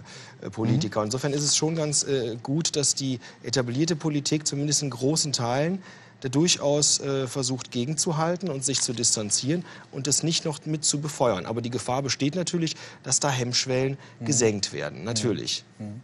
Frau Reger, glauben Sie an, an Fortschritt? Also ist, sind wir in einer Fortschrittsgeschichte wachsender Einsicht in das, was in der Welt los ist? Das hat Folgen für uns, mehr Toleranz? Glauben ja, daran Sie, glaube geht? ich. Die Welt ist eine globalisiertere als früher. Und äh, wir lernen, mit vielen anderen Nationen zusammenzuleben. Das wird viel normaler. Äh, das hat auch mit den Medien zu tun. Wir lernen, wie andere Menschen leben. Ich äh, kann mir das für Köln nicht vorstellen, dass es da zu solchen scheußlichen Vorfällen kommt. Es gibt immer mal Kritiker natürlich, die äh, sind dann aber eher mit äh, dummen Sprüchen dabei. Und das ist schon schlimm genug. Mhm. Was anderes kann ich mir für Köln ja. nicht vorstellen. Ein, ein Argument oder in Anführungsstrichen Argument, das man äh, ja gelegentlich hört aus solchen Ecken, ist, äh, ja, es gibt die sozusagen die guten Flüchtlinge, äh, da ist unsere Humanität gefordert. Und es gibt die, die wollen ja nur, die kommen aus wirtschaftlichen Gründen. Ist das für Sie eine plausible Unterscheidung, Herr Bauer? Nein. Guter Flüchtling, böser Flüchtling? Nein. Die, die ist, äh, muss man einfach mal sagen, die ist völliger Quatsch. Ich habe mir gestern auch noch mal äh, das durchgelesen. Die Linksfraktion im Bundestag hat eine kleine Anfrage gestellt äh, an die Bundesregierung. Äh, darauf ist geantwortet worden, wie denn eigentlich die Zahlen ähm, im, im letzten Jahr waren. Und dort kann man dann nachlesen, dass also 50 Prozent etwa ungefähr ähm, sind ganz klar Flüchtlinge, die sofort anerkannt wurden, ähm, weil politischer Natur etc. pp. Ähm, es gibt nochmal, ich glaube, 13 Prozent weitere, die ähm, zurückgeschickt werden nach dem ähm, unsäglichen Dublin-Abkommen, was besagt, da wo der Flüchtling zuerst ankommt, da muss er auch bearbeitet werden. Also im Endeffekt bei Ihnen ähm, war das ja im Endeffekt so, dass äh, Sie ja in Italien angekommen sind. Das heißt, eigentlich hätte Deutschland Sie sozusagen zurückschicken müssen. Ähm, das ist natürlich völliger Quatsch. Ähm, und die restlichen 30 Prozent werden auch nicht sofort abgelehnt. Und man muss ja auch noch sehen, dass zum Beispiel Serben, Kosovaren, diese haben eine Anerkennungsquote von etwa 0,3 Prozent. Das heißt, all die, die hierher kommen, Serben, Kosovaren, ich glaube auch Mazedonier, die werden im Normalfall sofort wieder zurückgeschickt. Wenn Sie sich jetzt die anderen Zahlen anschauen, dass also 50 Prozent sofort anerkannt werden, dann wird Ihnen klar, und das ist dort auch aufgeschlüsselt in der, An in der Antwort der Bundesregierung, dass äh, also zum Beispiel die Anerkennungsquote bei Syrern bei Irakern äh, an die 100 Prozent ist, bei Afghanen, Pakistanis an die 70 Prozent. Ich will damit sagen, im Normalfall wird jemand, der, wo das, die meisten Flüchtlinge, die hierher kommen, die haben die Notwendigkeit und die werden dann auch anerkannt. Aber das dauert und das ist das große Problem. Wir haben im Moment etwa 170.000 Anträge beim Bundesamt für Migration und mhm. Flüchtlinge, das ist dafür zuständig, liegen 170.000 Menschen, die darauf warten, dass ihr Asylantrag beantwortet mhm. und wird und die deshalb teilweise bis zu 15, 18 Monaten ist der Durchschnitt, äh, habe ich gestern gelesen, bei äh, Afghanen, wo man wirklich sagen muss, das ist ja Wahnsinn. Also es ist sozusagen klar, dass wir die aufnehmen müssen und die werden 15 Monate lang in Anführungszeichen hingehalten, ohne dass sie einen Anspruch auf Deutschkurse haben etc. Wir ahnen, wo die, wo die Probleme liegen. Äh, waren Sie eigentlich ein Wirtschaftsflüchtling, wenn wir jetzt mal in dieser, in dieser verrückten Unterscheidung bleiben? Äh, nein. Also ich wurde vor einem Militärdiktator geflüchtet, mhm. weil ich lebenslang Militärdienst äh, verurteilt war, mhm. wurde. Und äh, wenn man auch äh, mit wirtschaftlichen Gründen auch nach Deutschland flieht, also jeder hat seinen Grund. Äh, Armut kann ein Grund sein, oder?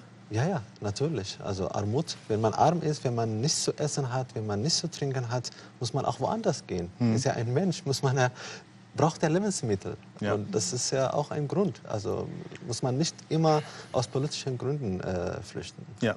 Und können Sie sich noch an den Moment erinnern, wo Sie ein Illegaler wurden?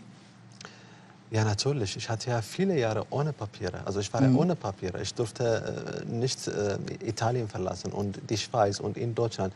Es gab auch Residenzpflicht in Deutschland. Ich musste immer im Landkreis äh, Ja. Weißenburg-Gunzenhausen bleiben. Aber mein Leben war total langweilig und jahrelang. Und ich, ich habe ja nichts zu tun äh, im Asylheim. Immer Fernsehen zu schauen, es ist auch sehr langweilig. Und deswegen äh, fuhr ich jeden Tag nach Nürnberg, weil ich in Nürnberg irgendwie in Geschäfte gehen können oder Landsleute treffen oder im Café gehen. Irgendwie, äh, im Café kann ich auch nicht gehen, weil ich äh, kein, kein Geld hatte. Einfach aber spazieren gehen und Menschen sehen, einfach frei sein. Und diese Langweile, gegen Langweile was tun. Aber wegen Residenzpflicht muss ich immer vor, vor Polizisten auch verstecken. Und ich habe in, in Nürnberg einmal erwischt und musste ich dann 70 Euro Strafe zahlen, Ja. obwohl ich im Monat nur 40 Euro und 90 Cent äh, äh, hatte. Und haben Sie die bezahlt? Ja, im Raten muss ich zahlen. Vielleicht 5 Euro pro Monat. Herr Ulios spricht äh, nicht von illegalen, sondern von illegalisierten. Das ist ein feiner Unterschied. Erklären Sie den mal.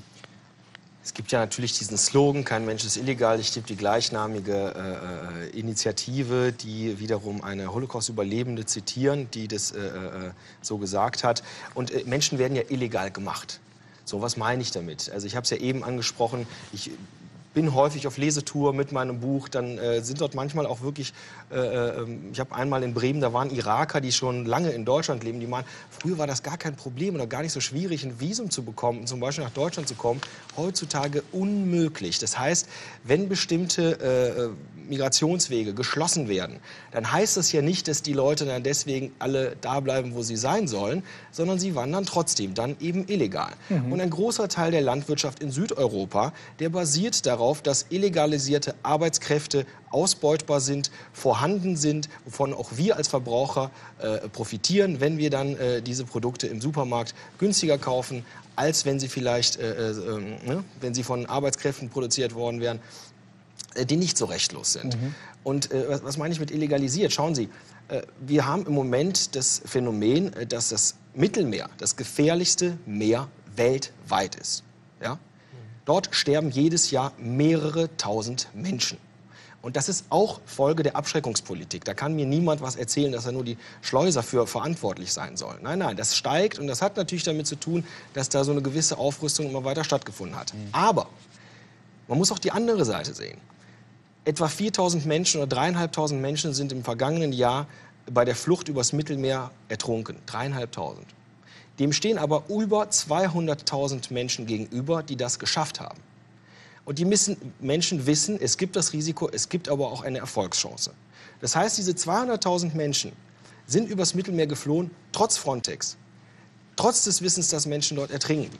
Frage ist, was wollen wir denn noch machen? Also sehr viel mehr können wir nicht mehr machen, ohne wirklich die Menschenrechte komplett Die Mauer können wir legen. gar nicht viel höher bauen. Nicht? Aber es, gibt, es gibt Mauern. Und also das ist ja, das müssen wir uns mal klar machen, mit welcher Situation wir zu tun haben. Auch was Herr Kebreb gesagt hat. Menschen nehmen sich auch Freiheiten. Auch er hat den Landkreis verlassen, obwohl er eigentlich nicht durfte. Ja. Es gibt Menschen, die kommen nach Europa, obwohl sie eigentlich nicht dürfen. Das gibt Das es. ist ein ganz, ne, das müssen wir uns mal klar machen. Der Mensch ist sozusagen kein Paket. Ja. Und äh, wo, Sie von den, wo wir gerade von den Mauern sprechen und wie hoch man die bauen kann, also man kann sie natürlich in den Köpfen bauen. Ein Satz wie, wir sind nicht das Sozialamt der Welt, gefallen auf dem politischen Aschermittwoch äh, äh, der CSU. Ist das nur Folklore und Getöse oder ähm, ähm, was Das machen wir ist so mit ein dem? idealisiertes Bild. Die kommen hierher und nehmen uns alles weg, was wir haben. Idealisiert ja? Wenn würde Sie ich auch nicht sagen, Zahnschmerzen aber- haben, was ja. Mhm. machen Sie? Sie gehen zum Zahnarzt, ja? Und der behandelt, auch wenn es komplizierter ist, macht eine Wurzelbehandlung, was auch immer, ja? Stellen Sie sich vor, Sie sind ein Flüchtling in Deutschland. Sie müssen warten, bis das Sozialarbeiterbüro offen hat. Dann müssen Sie einen Zahnschein erbitten. Dann gehen Sie zum Zahnarzt und wenn der sieht, es ist eine größere Geschichte, zieht er Ihnen diesen Zahn Mhm. weg. Sie dürfen auch erst zum Arzt, wenn überhaupt das Sozialamt äh, sagt, Sie dürfen zum Genau. Arzt. Ja gut, also dann ist der Zahn erstmal weg. Hm. Und der nächste und der nächste und der nächste. Was mal glauben Sie, warum die Leute so wenig Zähne im Mund haben, wenn sie mit manchen Leuten sprechen? Ja? Es sei denn, man findet dann wieder irgendwelche Idealisten oder ein gutes Netzwerk oder wie meine liebe Freundin Zahnärztin, die, diese, die dann sagt, bring ihn mir mal, ich gucke mir mal an, ob man da nichts machen kann. Ja? Aber solche Menschen bräuchten wir in Deutschland viel mehr. Und dass die Leute herkommen und sich bereichern, das ist einfach Quatsch. Ja? Bereichern die werden nicht aber, reich. Bereichern nicht, aber ich möchte mir jetzt ein bisschen ketzer- ketzerisch sein. Ja? Es gibt natürlich äh, äh Familien, die äh, von den Balkanstaaten, ex-jugoslawischen Teilrepubliken nach Deutschland kommen. Und häufig wissen sie schon, dass sie irgendwann wieder abgeschoben werden. Aber die können den Winter verbringen hier in besseren äh, äh, Umständen, als es vielleicht bei Ihnen äh, der Fall ist. Sie kriegen zumindest ein Bett, es ist warm, es ist vielleicht nicht schimmlig und Sie kriegen äh, dann auch zumindest einen, einen gewissen Sozialhilfesatz. Mhm. Und dann wissen Sie irgendwann, und das ist auch, und wissen Sie was, ich als Steuerzahler zahle das gerne. Also wenn ich weiß, dass meine Steuern dafür verwendet werden, dass ein paar Roma-Kinder vom Balkan hier äh, äh, hm. Bedürfnisse gestillt bekommen, hm. dann mache ich das gerne. Ich weiß genau, wie viele Milliarden wir als Steuerzahler für die Rettung der Banken ausgegeben haben. Da habe ich mehr Probleme mit, als wenn ein Flüchtlingskind was zu ja. essen bekommt. Und ich weiß, welchen bayerischen Politiker Sie nicht wählen. Ja. Äh, Frau Weil, haben Sie schon mal äh, das Ende sozusagen so eines Verwaltungsakts, über den wir jetzt ein bisschen schon gesprochen haben, mitbekommen, nämlich Abschiebung? Wie kriegen Sie das Na, mit in Ihrem? Natürlich, natürlich. Eine Situation wird mir immer im Kopf bleiben. Ich hatte einen Termin mit einer Frau, die in Not war, schwanger. Und 8 Uhr morgens hatte ich gesagt, wenn deine Kinder in der Schule sind, ich komme. Wir reden, wir gucken, dass wir das irgendwie hinkriegen. Wir gehen zur Diakonie zusammen. Vielleicht finde ich jemanden, der eine Patenschaft übernimmt für dieses Kind. Wir tragen dich mit, ja? Und ich komme dahin und die wurden morgens um vier geholt von der Polizei weg. Ja? Ich weiß nicht, was aus dieser Familie geworden ist. Die sind weg. Mhm. Ja? Ob das Baby geboren ist, abgetrieben wurde in irgendeinem Hinterhof, ich weiß es nicht. Ja? Das nimmt mich schon mit, natürlich. Und im Nachbarzimmer war auch eine Familie da hat, äh, weg mit derselben Aktion. Und da hatte ich die Teenager betreut und ähm, das eine Mädchen meldete sich dann wieder in Facebook und schrieb mich an, Frau Weil, wer ist Goethe? Deutschland. Wer ist Goethe? Was fragst du mich für Sachen? Ja, ja? ja ich mache gerade in der Schule Goethe. Da dachte ich, na gut, du bist gut unter, ja. Gott sei Dank. Das tut dann auch gut. Aber es gibt eben Situationen, da denkt man, jetzt muss ich loslassen. Ja, es nimmt mich mit, es nimmt mich immer noch mit. Es ist schon eine Weile her und trotzdem ist es in meinem Herzen da. Wir wollen am Ende auf diese Praxis und Idee äh, oder Ideologie der Abschreckung noch ein bisschen äh, der Abschiebung noch ein bisschen gucken. Herr Ulius hat sich damit beschäftigt. Sie haben ein Buch gemacht, ist auch ein Multimedia-Projekt daraus geworden. Das heißt Blackbox-Abschiebung. Warum Blackbox? Was ist da dunkel? Das ist ein Verwaltungsakt. Nee, das ist, Sie haben es ja gesagt, das findet im Dunkeln statt, um 4 Uhr morgens. Also Blackbox, weil Abschiebung einfach ein Komplex ist. Ähm, ich sage mal, das sind die Leichen im Keller unserer Integrationsrepublik. Mhm. Wir sprechen zwar von Weltoffenheit, aber Abschiebung ist sozusagen das Gegenteil von Einschluss von Offenheit, sondern es ist natürlich die massivste Form der Ausgrenzung. Und natürlich findet das so statt, dass da jetzt nicht unbedingt die Öffentlichkeit einen Einblick bekommen soll und möglichst auch nicht die Nachbarn, die sollen das auch nicht mitbekommen. Äh, das kollidiert ein bisschen auch mit unserem Selbstverständnis. Ne? Und begonnen hat das mein lieber Kollege und Freund Ralf Jesse, der Filmemacher. Der hat nämlich dieses Multimedia-Projekt gestartet, der hat Menschen interviewt die ihre Geschichte, ihre Abschiebegeschichte geschildert haben. Das Ganze ist als Wanderausstellung in verschiedenen Städten in Deutschland zu mhm. sehen gewesen, wird immer noch gebucht. Und ich habe noch mal aus meiner Reporterpraxis und auch dann noch mit Menschen gesprochen, interviewt, aber auch natürlich Archive durchflügt und dann eben dieses Buch geschrieben. Wir haben, äh, bevor wir aufs Buch kommen, wir haben einen Snippet, einen kleinen Ausschnitt äh, aus einem der Gespräche, die Sie geführt haben. Nach einem Jahr, Ausländamt hat mich wieder nach Trier geschickt, um eine Sprachanalyse, Sprachtest zu machen, ob äh, ich wirklich aus dem Irak stamme oder nicht. Und der Sprachanalyse ergab sich, dass ich nicht aus dem Irak stamme. Ich könnte stammen aus Türkei oder aus Syrien, aber auf keinen Fall aus Irak. Nicht jeder Mann, wer lügt und kommt nach Deutschland, hat in Gedanken, etwas zu klauen oder etwas zu Schlechtes zu machen. Wenn ich selbst, wenn ich erzähle, dass ich hatte kein Leben, ich habe Hunger gehabt, keine Arbeit. Das alles hilft nicht. Man muss unbedingt eine politische Verfolgung haben, um zu anerkannt zu werden. Ich habe gelogen, weil ich wusste, dass aus dem Irak ich werde mehrere Chancen haben als aus Georgien. Man kann auf Lüge auch Glück beschaffen. Wenn man weiß, dass man in dem Land abgeschoben wird, wo man nichts anfangen kann dann ich denke, dass man besser, wenn man lügt. Tja, manchmal muss man lügen. Das war Omari, der hat gelogen. Er hat gesagt, ich bin aus dem Irak, er war es aber gar nicht. Genau, also es ist natürlich so, dass ich, da findet ein Kampf statt. Also Abschiebung ist das Feld, in dem sozusagen zwei Welten aufeinanderprallen. Das, äh, der Staat, der sozusagen versucht, so etwas wie ein Hausrecht durchzusetzen, wir bestimmen, wer reinkommt und wer nicht. Und wer nicht anerkannt wird, der wird eben rausgeschickt, auch unter Zwang. Und dann eben aber der Wunsch von Menschen nach Freiheit. Sie haben es ja gesagt, es geht immer auch um Freiheit. Omari ist immer noch in Deutschland. Mhm. Seit über zehn Jahren. Viele Menschen können nicht abgeschoben werden, weil sie sozusagen ihre Identitätspapiere, ihre Pässe nicht mehr haben. Das verhindert eine Abschiebung. Das ist eine Strategie. Äh, wir das haben, heißt, die haben die weggeschmissen. Die, die haben die weggeschmissen. Der Schleuser hat, die sind vielleicht gar, die sind vielleicht von Anfang an mit einem falschen Pass eingereist und der Schleuser hat den wieder an sich genommen. Es gibt verschiedene und natürlich äh, politisch gesehen, rechtlich gesehen ist das Asylmissbrauch. Mhm. Politisch gesehen findet dort ein Kampf um Bewegungsfreiheit statt. Wir, finden, wir befinden uns in einer Welt, in der sozusagen eine globale Elite überall hinreisen kann, wo sie will, überall zu Hause sein kann. Und wir haben die weniger privilegierten Bürger dieser Welt, die das eben nicht haben. Und einige von denen nehmen sich dann aber das Recht. Das finde ich ja interessant. Aber muss der Staat, der sich ja seine, seine Gesetze, seine Regeln gibt, nicht eine Möglichkeit haben, zu sagen, wenn das ganze Verfahren durchlaufen ist und es hat sich herausgestellt, die Gründe können wir nicht anerkennen muss er dann nicht so handeln? Was wäre die Alternative? Ja, Frage ich mich gerade. Rechtsstaatlich gesehen schon. Aber politisch können wir das nicht so weitertreiben. Also ich plädiere dafür, eben dann auch Möglichkeiten zu schaffen, mit denen sich Menschen bewegen können. Auch mal nach Europa pendeln und wieder zurück. Wissen Sie, wenn jemand einen äh, Fluchthelfer bezahlt hat für teuer Geld und dann einmal hier ist und hier nicht wirklich weiterkommt, das, das rechnet sich gar nicht mehr, dann noch mal zurückzugehen. Mhm. Wenn wir die Erfahrung haben in Europa, trotz der sozialen Probleme, die manchmal entstehen, dass wir mittlerweile eine Reise- und Niederlassungsfreiheit haben für 500 Millionen Menschen in der Europäischen Union. Das funktioniert. Das ist ein historisches Experiment, was wir gerade erleben. Das ist sozusagen, vor 20 Jahren war das noch eine Utopie. Ich bin ja damit aufgewachsen, dass mir Politiker ständig erzählen, wir werden überrannt. Das Boot ist voll, es wird immer voller, mhm. es sinkt. Es ist, ich warte noch darauf, dass es sinkt. Also ich glaube nicht, dass es passieren wird. Mhm. Man kann Probleme angehen, die entstehen, auf jeden Fall. Es ist nicht, nichts ist sozusagen reibungsfrei.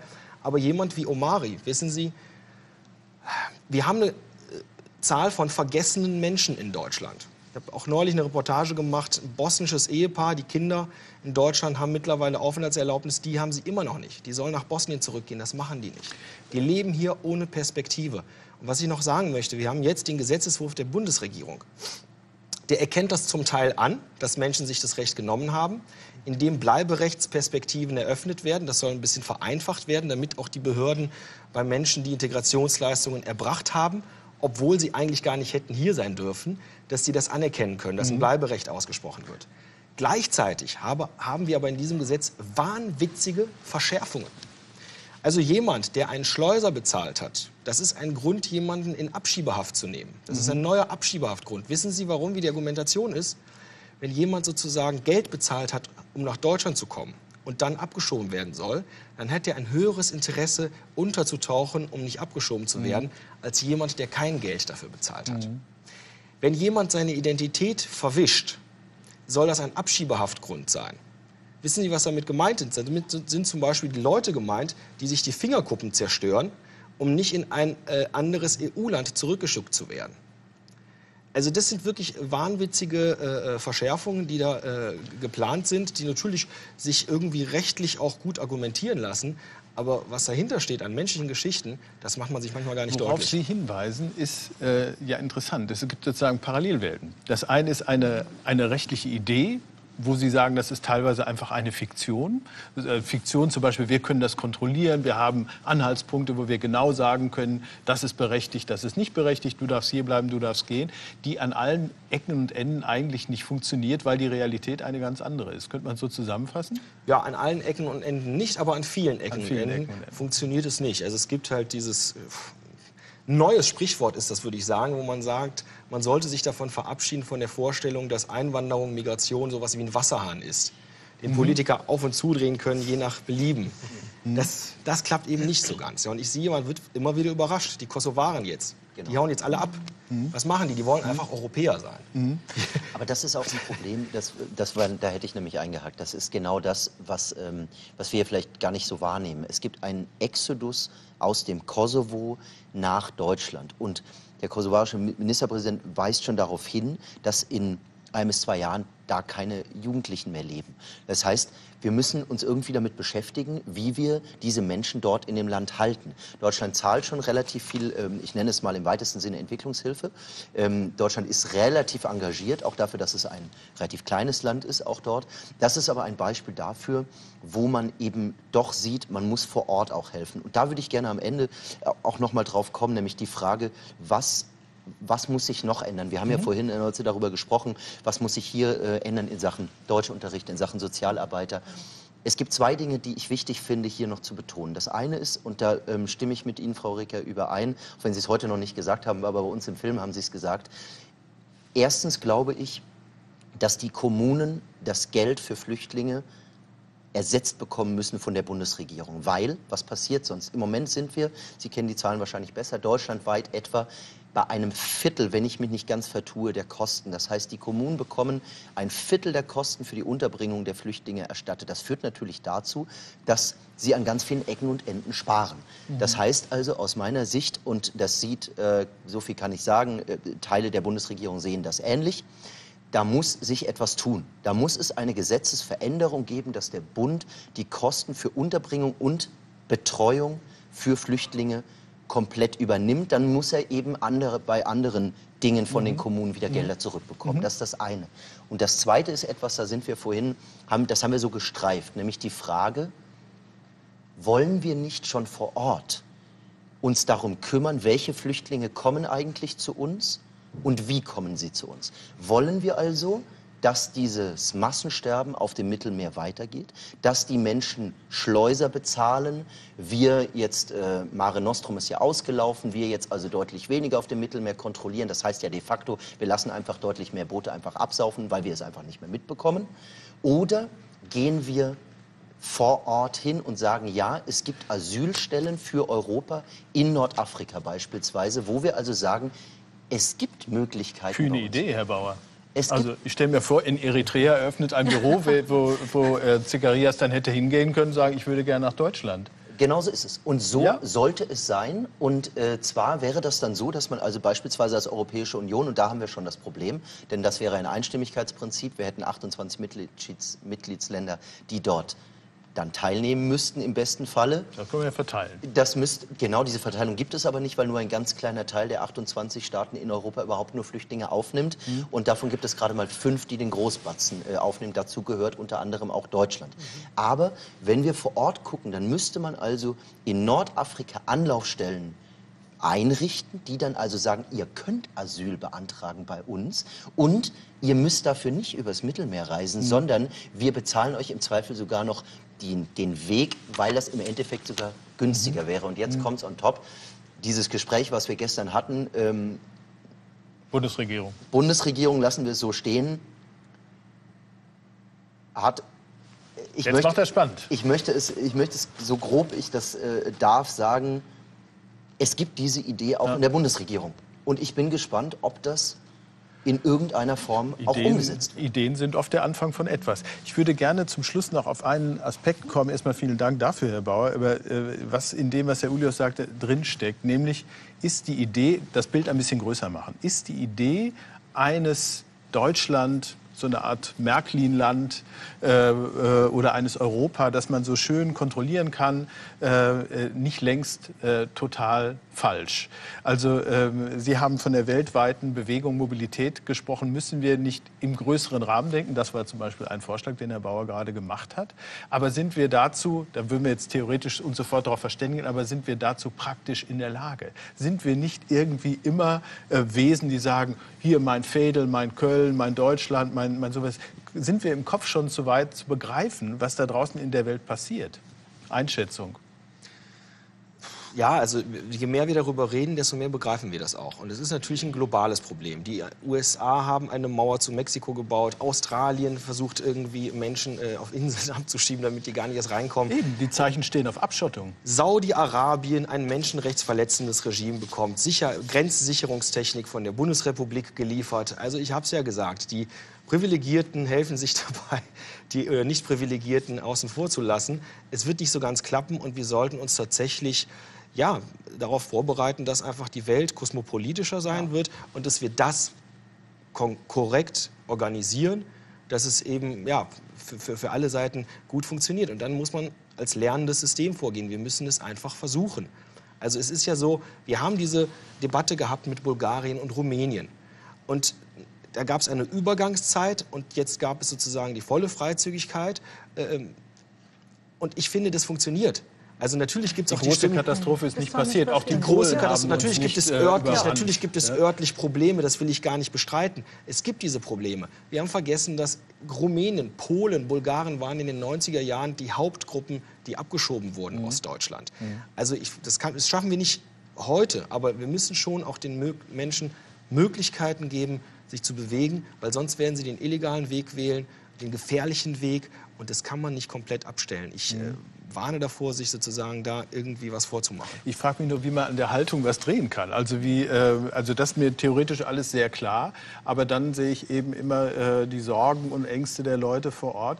Äh, ist so ein Argument, ist doch gut, wenn junge Menschen wie, wie äh, Herr, Kib, äh, Kibreb zu uns kommen, weil alt sind wir sowieso. Ist das vielleicht ein Argument, das man ein bisschen stärker machen müsste? Das ist ein Argument für Deutschland. Aber wichtig finde ich, dass äh, erstmal diese ganze Asylpolitik viel menschlicher wird und dass man akzeptiert, dass es diese Wanderungsbewegung gibt.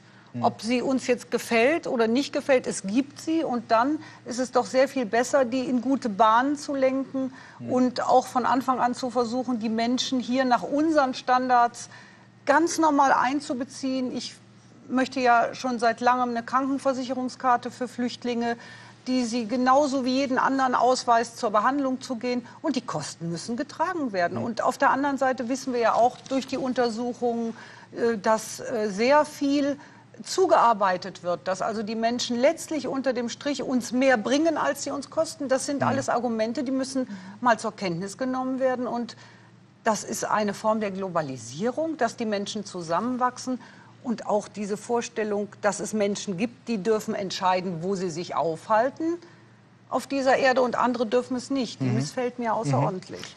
Das heißt ja nicht, dass wir das aufgeben müssen, was uns wertvoll ist. Unsere Heimat, unsere Ideale, unsere Träume, das, was wir gerne leben. Er wird nie hier in Lederhosen erscheinen, ja, obwohl er jetzt Nee, in Bayern lebt. ausgeschlossen. Wer weiß, vielleicht hat er ein paar bei Oktoberfest. Oktoberfest, okay. Ich erlebe auch eine ganz große Neugierde. Die sagen immer, erzähl mir von deiner Kultur. Die wollen es ja wissen und hören. Und ich versuche sie mitzunehmen, so gut es geht, ja, zu allen möglichen Dingen. Äh, aber ich gebe das mein Leben trotzdem nicht auf, Nee, deswegen. das muss es ja auch das gar darf nicht. Ich ja Sind auch. Sie denn schon ein bisschen Nürnberger, Herr Ja, ich bin Nürnberger, genau. Ja? Also richtig. Also Nürnberg ist meine Heimat, wie genau Asmara. Also ich lebe sehr gerne in Nürnberg und wenn ich im Ausland bin, dann vermisse ich richtig Nürnberg. Und, und was daran? Also was, was, was ist es? Also was macht es aus? Ja, Wenn ich da aus dem Bahnhof komme, denke ich immer, würde ich das vermissen? Weiß ich gar nicht. Wenn ich die nicht hätte. Bratwürste und Die Bratwürste. die Menschen. Und also Nürnberg ist äh, meine Heimat. Aber zum Schluss, was ich äh, sagen möchte, ist, also wir sind aus Eritrea gekommen. Ich bin aus Eritrea gekommen, weil ich nicht frei äh, gewesen. Äh, und das ganze Volk, das ganze Volk von Eritrea ist auf der Flucht nach Europa. Also viele Tausende und viele Hunderttausende wollen nach, nach Eritrea. Und die Politiker müssen auch dann schauen, wie das Land jetzt äh, funktioniert, damit sie nicht Denn alle nach Europa Sie kommen sowieso, denn die, der Ruf der Freiheit ist dann doch größer. Danke an Sie alle fürs Mitdiskutieren, fürs Mitdenken. Danke, dass Sie geguckt haben. Nächste Woche Matthias Bongert was ganz anderes. Da geht es um Shades of Grey und ähm, die Frage, was das mit dem wahren Leben zu tun hat. Jetzt noch schönen Sonntag. Machen Sie es gut. Bis dahin. Ja, vielen Dank.